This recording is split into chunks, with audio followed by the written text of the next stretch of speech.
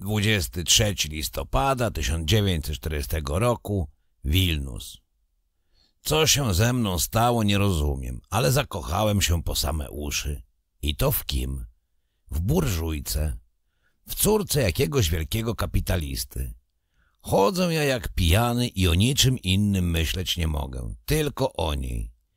I wstyd mnie nawet, że ja, ideowy konsomolec proletariackiego pochodzenia, tak zadłużyłem się w arystokratce.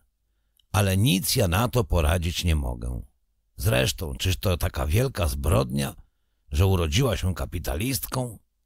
Lenin przecież był nawet dziedzicem, to znaczy krwiopijcą i eksploratorem cudzej pracy. A potem się rozmyślił, poprawił się i stał się nawet ojcem proletariatu. Tak samo Unaczarski albo Cziczerin, no a Piotr Wielki na przykład to nawet carem był, a pomimo tego przez całe życie dla dobra proletariatu i partii komunistycznej pracował i fundamenty Związku Radzieckiego budował. Ale muszę ja to wszystko opowiedzieć dokładnie. Zaczęła się ta moja miłosna historia od tego muzykalnego instrumentu, który ja tak szczęśliwie na rynku kupiłem. Jak potem się dowiedziałem, nazywa się on Katarynka. Nawet bardzo przyjemna nazwa. Nasza rosyjska od Kacjuszy chyba pochodzi. A możliwe, że sama caryca Jekateryna Wielkaja go wynalazła. Chyba ono taki jest. Otóż lubiłem ja wieczorami na Katarynce koncerty dla całej ulicy dawać.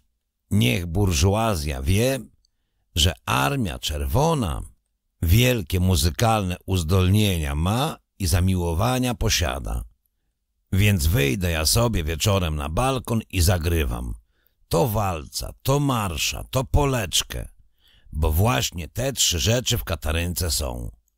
Otóż pewnego razu gram ja sobie walca i widzę ja, że po przeciwnej stronie ulicy w oknie naprzeciw mnie jakaś śliczna panienka siedzi. Pewnie mojej muzyki słuchała, więc zacząłem do niej uśmiechać się, oko robić i bardzo znacząco pokaszliwać. Więc i ona do mnie uśmiechnęła się, a gdy ściemniło się, to ona okna zamknęła i światło zapaliła w pokoju. Potem długo coś tam robiła, bo jej cień na firance widziałem. Później światła zgasiła. Pewnie poszła spać. Nazajutrz wstałem ja wcześnie. Umyłem dobrze ręce, a nawet i twarz trochę. Wzułem nowe buty i dwa zegarki na normalnych miejscach przysposobiłem. Potem czekałem, kiedy ona wstanie, ale długo spała. Dopiero o godzinie dziewiątej firankę na oknie odsunęła.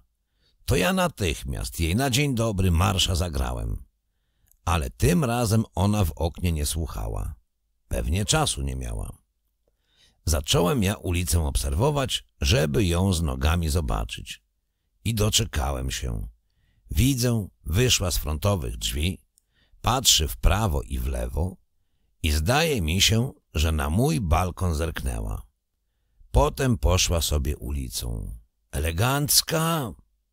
Kostium na niej zielony w żółte groszki. Kapelusik z piórkiem i wstążeczką. Wot tak. Pod pachą parasolka. Tak jak najświeższa paryska moda nakazuje. W ręku, burżujskim obyczajem, torbę skórzaną na różne tam pudry ma, perfumy i inne kremy. Pantofelki na wysokich obcasach. Po prostu kwiat, a nie kobieta. Tymczasem do mnie tamten typ przyszedł, od którego ja na rynku Katarynkę kupiłem. Poprosiłem ja go usiąść i zaraz mu za instrument 80 rubli dopłaciłem, bo właśnie pensję otrzymałem i byłem w gotówkę wyposażony. Czy zadowolony jesteś? Spytał mnie. Bardzo, powiedziałem. Nie tylko sam wielką przyjemność mam, lecz i cała ulica moją muzyką rozkoszuje się. Dwa razy dziennie po dwie godziny im zagrywam. A jak czasem spać mi się nie chce, to i w nocy grać nie lenię się. Lubię ludziom przyjemność sprawiać. Zaczęliśmy rozmawiać o różnych rzeczach. Bardzo przyjemny okazał się chłop. Wciąż wesoły kawały opowiada i żartuje. Mikołaj mu na imię. Więc ja go zacząłem nazywać Kolka, a on mnie Miszka. Tak jakbyśmy z dawien dawna przyjaciółmi byli. Spytałem ja go, jakie jest narodowości. Internacjonalista jestem, powiedział. Z każdym człowiekiem, który chce, handel prowadzę i z tego żyję. I żadnej u mnie różnicy nie ma, czy to Polak, czy Ruski, czy Żyd, czy jaki inny czort, abym tylko mógł zarobić. Powiedział, że do mnie wielką sympatię ma i zaufanie, dlatego też nie obawiał się zostawić niezapłacone 80 rubli, bo wiedział, że taki kulturalny oficer jak ja nie oszuka. Obiecał mi, że jak trzeba jeszcze coś kupić albo jakąś inną sprawę załatwić, to zawsze chętnie pomoże. Więc ja go od razu spytałem. Jak u was przyjęto z panną znajomość zawierać? Hmm, zależy z jaką panną, powiedział. Bo panna pannie nierówna. Są takie, że ją można od razu szczypnąć i gdzieś tam poklepać. Ale są takie, co koło nich z rok czasu trzeba na paluszkach chodzić, zanim coś tam do czegoś dojdzie. To ja mu powiedziałem. Z tą to chyba bardzo trudno, bo przekonałem się, że to osoba ogromnie uważna, ubrana jak najlepsza nasza aktorka i taka delikatna, że parasolkę nawet wówczas nosi, gdy deszczu nie ma. Z wyższej klasy to panienka. A jak ona do ciebie odnosi się? Ot tak sobie średnio. Rzeczywiście, z taką nie będzie łatwo. Musisz bardzo uważać, bo inaczej z tobą zadawać się nie zechce. Taką to trzeba zawsze w rączkę pocałować i różne delikatne rzeczy jej gadać. I kwiaty kupować też. W ogóle będziesz miał straszne zawracanie głowy, zanim na ciebie łaskawie spojrzy. Lepiej ty sobie inną znajdź. Włod tak. Bardzo on mnie zmartwił. Gdzież mi rok czasu panience nadskakiwać, kiedy ja za parę miesięcy mogę być gdzieś służbowo wysłany. Ale nic. W dalszym ciągu ja dla niej na Katarynce zagrywałem pięknie i bardzo znacząco do niej uśmiechałem się. Dostrzegłem, że i ona pewnego razu uśmiechnęła się. Oho, pomyślałem ja sobie, moje sprawy z nią w górę idą. Zrozumiałem, że zaczęła ona mną poważnie interesować się. To ja do niej kiedyś ręką pomachałem, pozdrowiłem ją w ten sposób. Ale ona nic. Może nie zauważyła? Ze dwa tygodnie ja ją takim sposobem kokietowałem i zakochałem się w niej aż po same uszy. Pewnego razu zapomniała ona firankę na oknie zaciągnąć i przed stolikiem rozbierać się zaczęła. To ja omal z balkonu nie skoczyłem. Co za kobieta! Po prostu cud! Więc ja światło zgasiłem, niby mnie w domu nie ma. I z godzinę patrzyłem, jak ona przed lustrem na różne sposoby wykręcała się i jakimiś maściami smarowała się i włosy czesała i paznokcie piłowała ale nigdy więcej nie zapomniała firanki zasuwać. A szkoda. Kilka razy ona przed otwartym oknem różne tam wyprane damskie interesy bieliźniane suszyła. A wszystko to albo różowe, albo kremowe, albo błękitne. Wiadomo, taka osoba byle czego nawet pod spód nie włoży. To nie nasze machmutki, co chodzą jak krowy zafajdane nos palcem wycierają i nieustannie drapią się w takie miejsce, w jakie publicznie drapać się nie należy. Mnie kiedyś w Lidzie nawet Lipa zapytał, czemu wasze sowietki tak strasznie cuchną? Czy mydła, żeby się wymyć nie mają, czy nigdy bielizny nie zmieniają?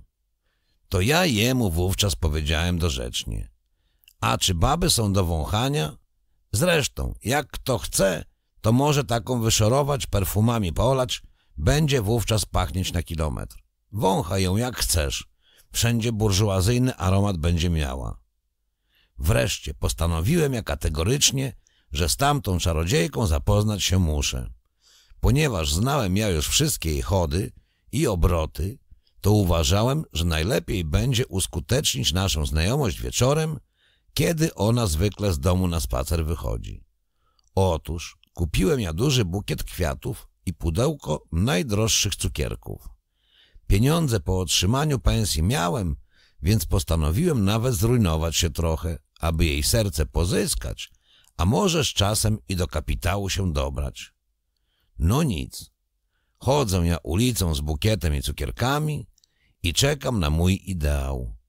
A ona z domu nie wychodzi. Za wcześnie przyszedłem. Wreszcie posłyszałem ja, drzwi trzasnęły, a potem ona się zjawiła i ulicą w moim kierunku maszeruje. To ja walę jej naprzeciw i śmieję się do niej jak mogę najgłośniej. Ale ona nic. Mija mnie. Wówczas ja powiedziałem. Przepraszam, proszę zaczekać chwileczkę. Ona stanęła i na mnie oczy wytrzeszcza. Nawet jakby przestraszyła się trochę. O co chodzi? Zapytała. Więc ja jej pudełko cukierków podaję i mówię. Zauważyłem, że zgubiliście, to i uczciwie oddaję, a jednocześnie mam niesamowity zaszczyt przedstawić się. Jestem major Michał Nikołajewicz Zubow. Skłamałem ja z tym majorem, bo przypuszczałem, że taka osoba wysokiego pochodzenia z lejtnantem i rozmawiać nie zechce. A majorem ja, przy mojej wielkiej inteligencji i zdolnościach, przecież kiedyś będę. Potem capia ją za rękę i w dłoń pocałowałem, a następnie bukiet kwiatów pod pachę jej wsadziłem tam, gdzie trzymała parasolkę. A ona milczy. Pewnie była bardzo zachwycona moim eleganckim zachowaniem się. To ja do niej powiedziałem, może poszlibyśmy na spacer. Właśnie na spacer idę. To ja z wami, jeśli nie zgniewacie się. Cóż się mam się gniewać? Możecie iść razem, tylko mnie z tymi kwiatami bardzo niewygodnie. No i poszliśmy. Ona dzyp, dzyp, dzyp, dzyp, dzyp, dzyp na wysokich obcasikach. Ja zaś obok niej z ważną miną bukiet kwiatów dźwigam. A jakże? Można powiedzieć, wspaniale wyglądamy. Tymczasem ja bardzo sprytnie kulturalną rozmowę z nią zacząłem. Ogromnie pani jest piękna, powiadam. I jestem panią wściekle zachwycony. A ona mówi. To mi wszyscy znajomi mężczyźni powiadają i bardzo są ze mnie zadowoleni. Po krótkim spacerze ona stanęła i powiada. Coś chce mi się jeść. Nawet w brzuchu burczy. Nie miałam dzisiaj czasu pójść na obiad. To możemy, zaproponowałem, do jakiejś restauracji wstąpić na kolację, jeśli pani sobie życzy. Będzie to dla mnie zaszczyt. No i poszliśmy. Ale ja wcale nie wiedziałem, co i jak w tych burżujskich restauracjach się zamawia, więc ona się tym zajęła. Przede wszystkim, powiedziała do kelnera, dużą karawkę wódki i dwie flaszki dublowego piwa podaj nam. Do tego dwa sznycle i kiszonych ogórków ze cztery. A potem zobaczymy. Tylko prędko. Od razu widać po niej, że jest osobą z wyższego towarzystwa, bo jak kolację zamawiała, to nawet w spis potraw nie patrzyła. Wszystko znała na pamięć. Otóż przyniósł nam kelner wódki i ogórków sztuk cztery, a o sznyclach oświadczył, że smażą się jeszcze. Ona tymczasem zwróciła jego uwagę na kieliszki i kazała zamienić je na szklanki. Następnie nalała ona wódki do szklanek i powiedziała uroczyście. No, nasze kawalerskie. Wypiliśmy, przekąsili, a ona mówi. Bardzo ja tą żytniówkę ubóstwiam, bo od prostej wódki później głowa nie boli. Tak to sobie gadając, my karawkę wódki i wytrąbili. Tymczasem kelner sznycel przyniósł, więc ona drugą karawkę zamówiła. Gdy podpiliśmy sobie należycie, zacząłem ja ją o jej stan cywilny wypytywać. Panną jestem, powiedziała. Za byle kogo wyjść za mąż nie chcę, bo nie jestem głupia, żeby na jakiegoś osła darmo w domu pracować. A ja jestem kawalerem, oświadczyłem, i uważam, że dobrze myśmy się dobrali więc bardzo się cieszę ze znajomości z tak przyjemną osobistością. Bardzo przyjemnie spędziliśmy czas w restauracji, ale od wódki w głowie mnie poważnie zakołowało, a po niej i poznać nie można było, że jest podpita. Potem poszliśmy do domu. Ja ośmieliłem się nawet pod rączkę ją wziąć i nic nie zaprotestowała. Widocznie ja jej bardzo się spodobałem.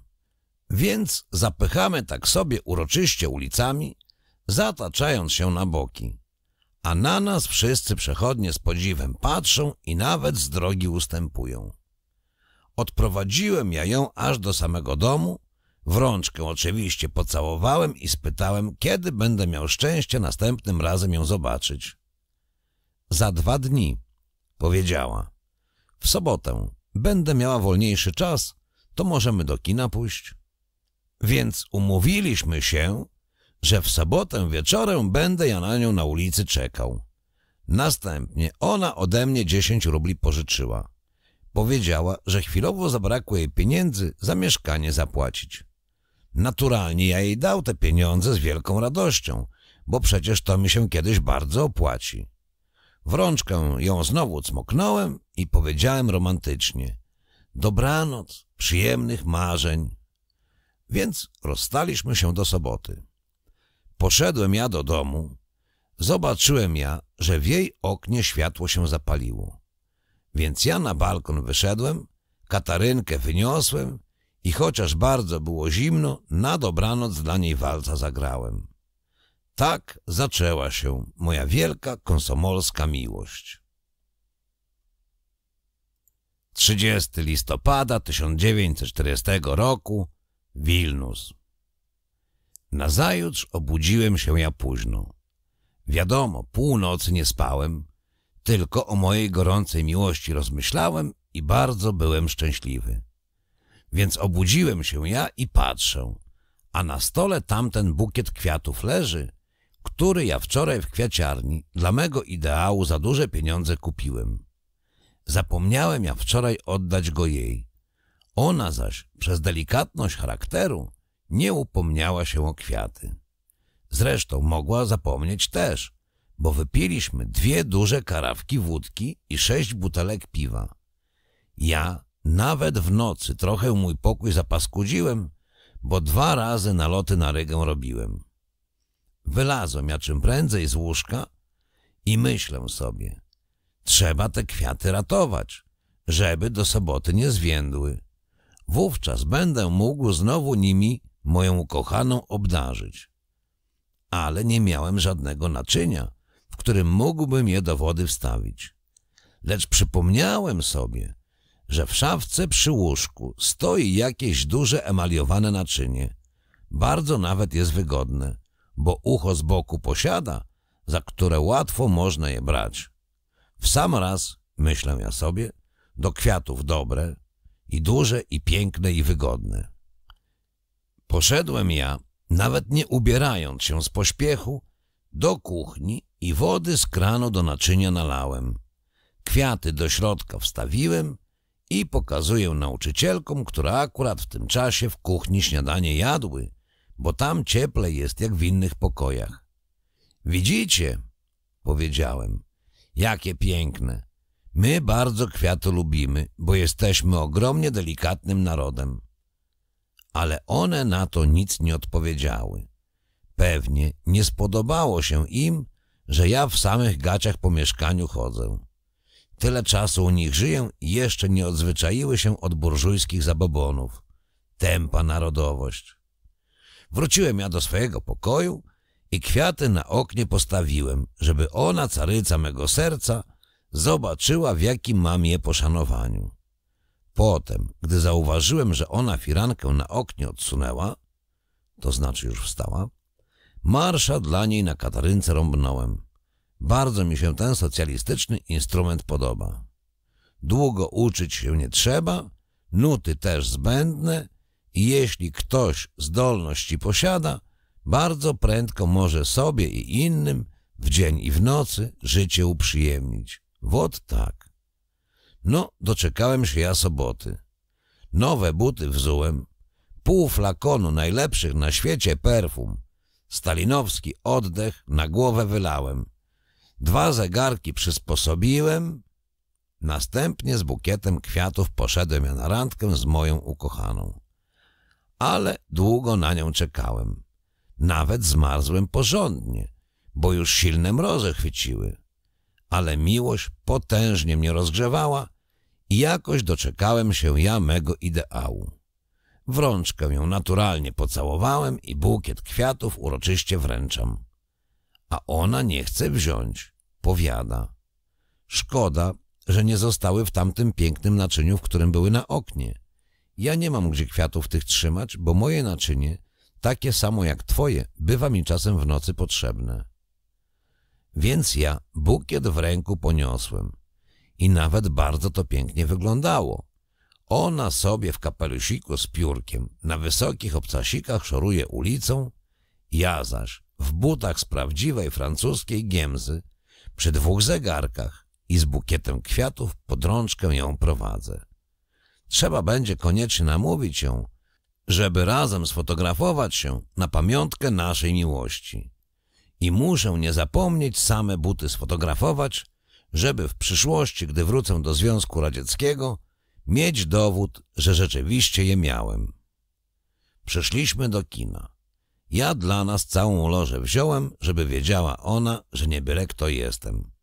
Więc usiedliśmy tam we dwoje tylko i na obraz patrzymy. Ale jakieś polskie świństwo było i wcale mnie nie interesowało. A ona tak śmiała się, że wszyscy ludzie w kinie na nas oglądali się. Szczególnie gdy ona, wybuchając co chwila śmiechem, czkawki dostawała. Spróbowałem ja w ciemności za rączkę ją wziąć i nic, wcale nie protestowała. Zamierzałem nawet ją objąć, ale przypomniała mi się tamta historia ze straganiarą w lidze. Jeśli tamta, pomyślałem sobie, nosa zadzierała, to cóż dopiero ta.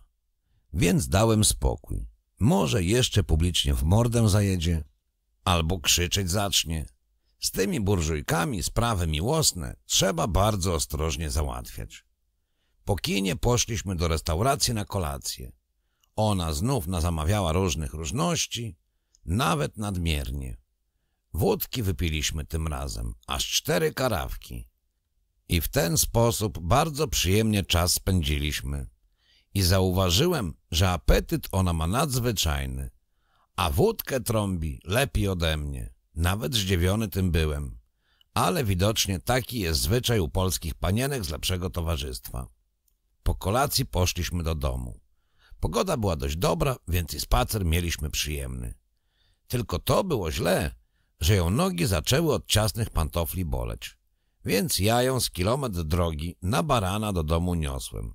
A na pożegnanie zapytałem ja ją w sposób bardzo poważny. Powiedzcie wy mnie, szanowna Ireno Antonowna, czy mogę ja mieć nadzieję względem waszych dla mnie uczuć? Chciała ona mi na to coś odpowiedzieć, ale zemgliło ją, więc zaczęła naloty na rygę robić. Odszedłem ja trochę na bok, żeby mnie nowych butów nie popaćkała i czekam. No i uspokoiła się ona trochę, więc ja tamto pytanie powtórzyłem, a ona powiedziała mi Na razie jestem z was zadowolona. Niczego sobie kawaler jesteście i nawet nie bardzo skąpy. Tylko chcę ja od was jeszcze dwadzieścia rubli pożyczyć, bo chłodno się zrobiło, więc muszę ja w poniedziałek drzewa do pieca kupić. Dałem ja jej tamte pieniądze z wielką ochotą i tamto pytanie powtórzyłem. A ona odpowiedziała, czemu nie? Od tego przecież jestem, tylko teraz jestem bardzo zmęczona i spać mi się chce. Poza tym kolacja mi trochę zaszkodziła. Pożegnałem ja ją, w rączkę pocałowałem i bukiet wręczam. Ona zaś mówi. Za kwiaty dziękuję, obejdę się bez nich. Zwiędłe są już i trochę nieczyste. Weźcie je sobie na pamiątkę ode mnie. W ten sposób bardzo romantycznie pożegnaliśmy się, umówiliśmy się, że na następną sobotę do innego kina pójdziemy. Słowem, wszystko się odbyło tak, jak w pięknym romansie z książki, albo jak na obrazie filmowym. Poszedłem ja do domu. Gdy ona światło zgasiła, to ja dla niej według zwyczaju na katarynce walca do snu zagrałem. A potem to ja do drugiej w nocy różne pieśni o miłości bardzo głośno i wzruszająco śpiewałem. Wreszcie i ja spać poszedłem, ale usnąć ja długo nie mogłem. I tak myśląc, doszedłem do przekonania, że jednak te burżujki są lepsze jak sowietki. Bo z naszą co? Pójdziesz do kina, a z kina razem spać. No i po wszystkim. A tu dopiero trzeba nachodzić się, nawzdychać się, rąk nacałować się, dopóki co do czego dojdzie. Więc zrozumiałem ja, że jestem bohaterem bardzo romantycznej historii i wielkiego dla siebie szacunku nabrałem. Bo jeśli taka ważna persona mnie swymi uczuciami obdarzyła, to rzecz jasna, nie byle kto ja jestem. A jeśli ona bez ślubu nie zechce ze mną zadawać się, to co wówczas? No naturalnie ożenię się z nią. Z wielką nawet przyjemnością. To dopiero byłaby odpowiednio dla mnie żona.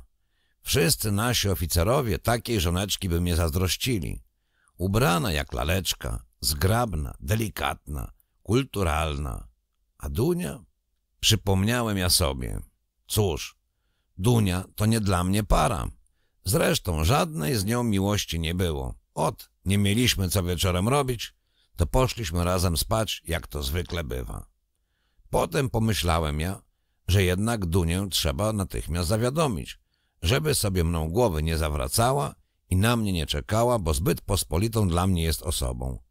Więc wstałem ja i światło zapaliłem. Dla większej energii trzy razy na Katarynce marsza zagrałem i potem do pisania listu zabrałem się, bo się bałem, że do rana najlepsze myśli z głowy mi powylatują.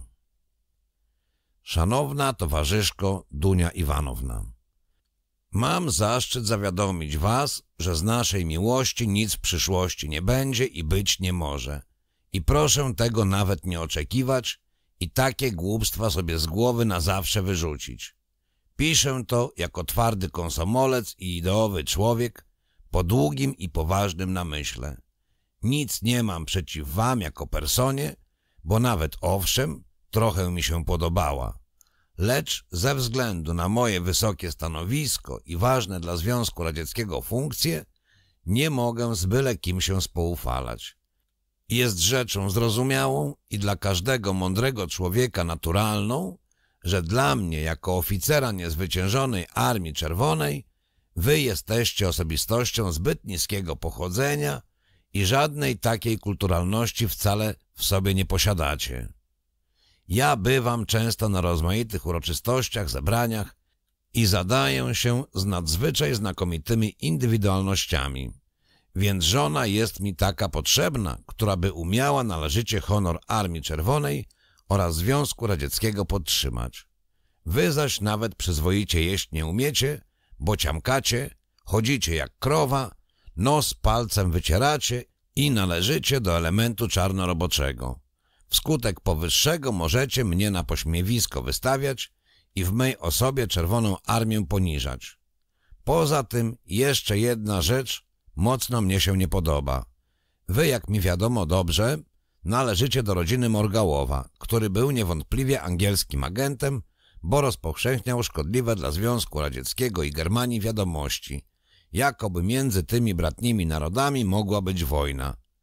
Ponieważ za tę zbrodnię wściekłego reakcjonistę faszystowskiego Morgałowa i jego rodzinę zesłano do łagru, to nie wypada mnie w żaden sposób utrzymywać łączności z rodziną, chociaż i bardzo daleką, pachołka imperialistycznego. Jako oficer muszę dbać o swój honor, opinię i moralność socjalistyczną.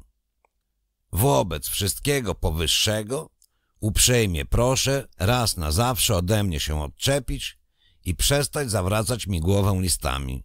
W przeciwnym razie będę musiał przypomnieć, komu się należy, o dalszych krewnych ze zwierzęconego reakcjonisty i agenta kapitalistycznego Morgałowa, to znaczy o was i o waszej szanownej rodzinie. Komunistyczne pozdrowienia łączę i żegnam na zawsze. Kategorycznie. Młodszy lejtnant Armii Czerwonej oraz ideowy konsomolec Michaił Zubow. Ze trzy razy ja ten list przeczytałem i każdorazowo coraz więcej mnie się podobał. Od razu widać z niego, że jestem osobą poważną i bardzo szanującą się. Teraz ja odetchnąłem swobodnie, bo drogę do miłości mam otwartą. Następnie zagrałem ja walca i z poczuciem dobrze spełnionego obowiązku poszedłem spać. Oczywiście mógłbym ja nic do Duni nie pisać, bo skąd by ona o moim romansie z burżujką się dowiedziała. Ale jako komunista nie lubię kłamać i fałszywie postępować.